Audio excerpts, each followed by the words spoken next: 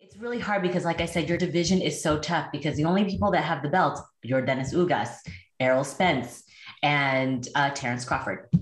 So eventually you're going to have to stand in line. Manny Pacquiao's out of the bunch now. But now, even before that, I would love, I've even said before Yordenis had the belt, I would love to see you in the, um, in the ring with him, maybe even Thurman.